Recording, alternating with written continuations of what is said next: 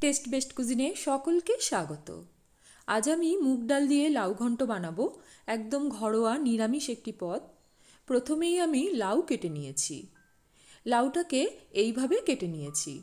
বন্ধুরা, আমার এই রেসিপি আপনাদের যদি ভালো লাগে, অবশ্যই চ্যানেলটিকে সাবস্ক্রাইব করবেন আর নতুন রেসিপির নোটিফিকেশান পেতে পাশে থাকা বেল বাটনটাকে প্রেস করে দেবেন।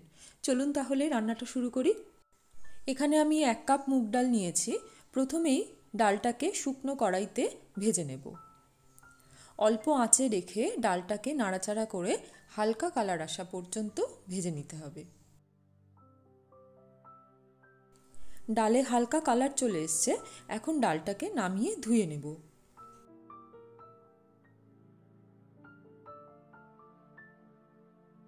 ডাল একবারই ধুয়ে নেব, কারণ মুগ ডাল বেশি ধুলে মুগ ডালের সুগন্ধটা নষ্ট হয়ে যায়।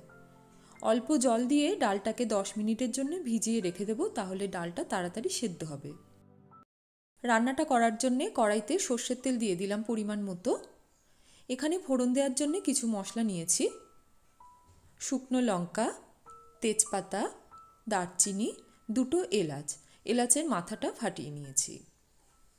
আর হাফ চামচ গোটা জিরে। তেল গরম হলে ফোড়নটা দিয়ে দিলাম। মশলাটা কয়েক সেকেন্ড ভেজে নেব। মশলাটা থেকে যখন সুন্দর গন্ধ বেরোবে, অল্প নুন দিয়ে দিচ্ছি। নুন দিলে আদাটা একটু কম ছেটকাবে। এক টেবিল চামচ আদা বাটা দিয়ে দিলাম। এই রান্নাটাতে আদার পরিমাণটা একটু বেশি হলে আমার ভালো লাগে। তাই আদাটা একটু বেশি করেই দিলাম। এক মিনিট আদাটাকে ভেজে নেব। আদা ভাজা হলে দিয়ে দিচ্ছি হলুদ গুঁড়ো।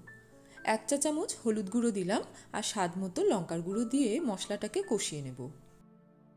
অল্প আঁচে রেখে মশলাটাকে দু মিনিট কষিয়ে নেওয়ার পর কেটে রাখা লাউ দিয়ে দিচ্ছি।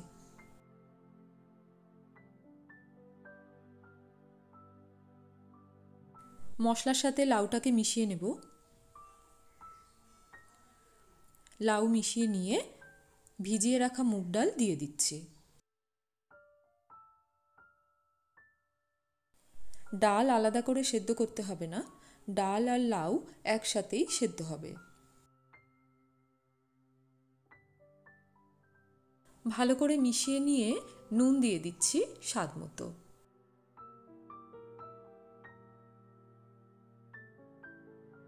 নুনটাকে মিশিয়ে দেব। লাউ থেকে জল বেরোবে, তবুও আমি হাফ কাপ পরিমাণ জল দিয়ে দিলাম। এখন ঢাকা দিয়ে লাউ আর মুগ ডাল সেদ্ধ হওয়া পর্যন্ত রান্না করব। গ্যাসটা কমিয়ে দিলাম। অল্প আঁচে রেখে রান্না হতে দেব। মাঝে ঢাকা সরিয়ে একবার নাড়াচাড়া করে দেব। লাউ থেকে বেশ জল বেরিয়েছে। লাউ আর ডাল এখনও সেদ্ধ হতে একটু বাকি আছে। আবারও ঢাকা দিয়ে পুরোপুরি সেদ্ধ হওয়া পর্যন্ত রান্না করে নেব। কিছু সময় রান্না করার পর ঢাকা সরিয়ে দিচ্ছি। লাউ আর ডাল সেদ্ধ হয়ে গিয়েছে। এখন স্বাদ মতো চিনি দিয়ে দিচ্ছি। নিরামিষ তরকারি একটু মিষ্টি মিষ্টি ভালো লাগে, তবে চিনিটা আপনারা নিজেদের স্বাদ মতো দেবেন। চিনিটা মিশিয়ে নিয়ে দু তিন মিনিট রান্না হতে দেব। একটা কাঁচা লঙ্কা ভেঙে দিয়ে দিচ্ছি, এটাতে বেশ সুন্দর ফ্লেভার হবে। মুগ ডাল আর লাউ বেশ মাখো মাখো হয়ে গিয়েছে। নামানোর আগে দিয়ে দিচ্ছি হাফ চামচ ঘি। আর ধনে পাতা পছন্দ থাকলে অবশ্যই দেবেন, দারুণ টেস্ট হয়। তৈরি হয়ে গেল মুগ ডাল দিয়ে লাউ ঘন্ট। রেসিপিটা আপনাদের কেমন লাগল নিচে কমেন্ট সেকশানে লিখে জানান।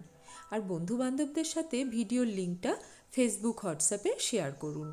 আজ আসি, আবার আসব অন্য কোনো রেসিপি নিয়ে। ভালো থাকবেন, ধন্যবাদ।